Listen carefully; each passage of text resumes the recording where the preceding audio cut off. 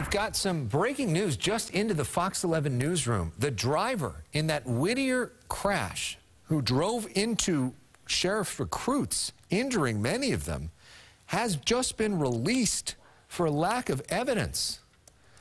Don't have any more information other than that.